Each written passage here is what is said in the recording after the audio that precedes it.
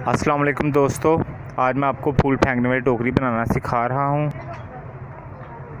जो कि बहुत आसान है। गत्ते पे वेलवेट लगाएँ, ये देखें वेलवेट लगी हुई। वेलवेट लगाने के बाद इसके पीछे सारी गिलू लगाएँ। ये गन से इसे जोड़ दें। हाँ जी। अब मैं आपको सही तरीके से बताता हूँ कि कैसे बनना है इसने। गत्ते पे वेलवेट लगाकर ये हाँ जी, इसको पीछे से जोड़ें सही तरीके से। राड ख़त्म हो गया था।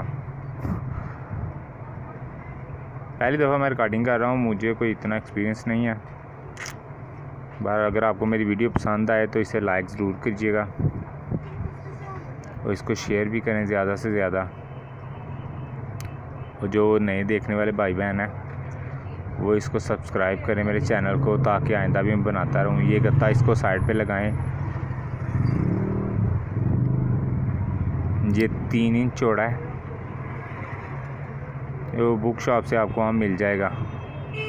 ये देखें, ये कुछ कुछ टोकरी की शेप आने लग गई है। इसको मैं साइड पे ना वेलवेट लगाऊँगा। इसको पक्का कर लें पहले गन से अच्छी तरह।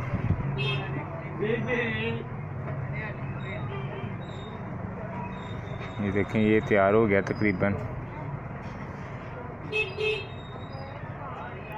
अब ये वेलवेट है। इसको अंदर से जोड़ना है अपने, और बाएँ की तरफ़ बैंड करना है। एक किनारा लें इसका, इसको अंदर जोड़ें। ये देखिए। और ऐसे ही चारों तरफ़ ना पूरी टोकरी को लगाना है अपने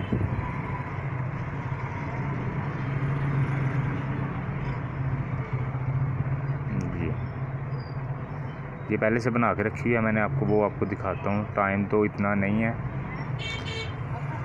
ये देखें, ये चारों तरफ़ वेलवेट लगा के रखी हुई थी मैंने। अब इसको सुराख करने हैं दोनों साइड पे। ऑपोजिट साइड पे ना सुराख करें एक एक।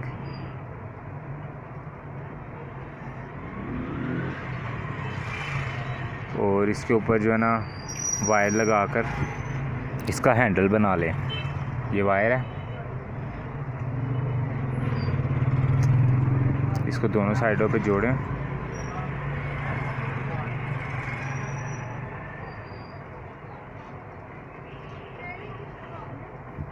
ये देखें ये वायर।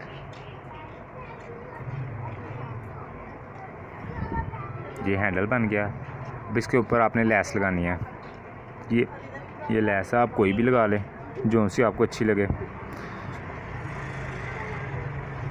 मैंने तो बेचनी होती हैं तो इसी तरह की चलती हैं इधर।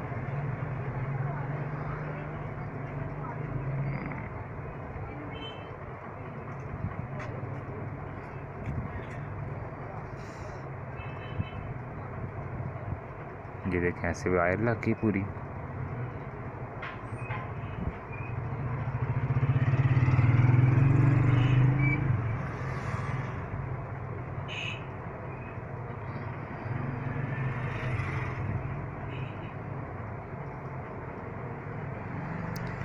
अब एक साइड पे लगा दे किनारे वाली लैस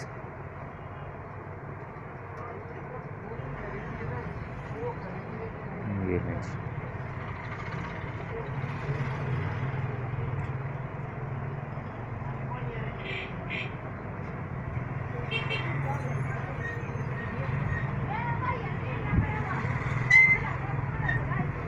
ठीक है, ये फूल फेंकने के लिए ना आपकी टोकरी तैयार हो गई है। इसे शादियों पे यूज़ करें। इसे दूल्हे के आगे रखें, दुल्हन के आगे रखें पैसे रखने के लिए। फूल फेंकें, जो मर्ज़ी करें। इस पर शीशे लगा सकते हैं।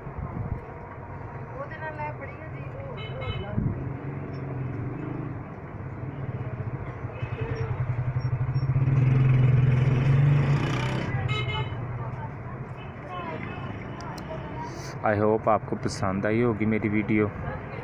मुझे कमेंट करें, मेरी वीडियो को लाइक करें।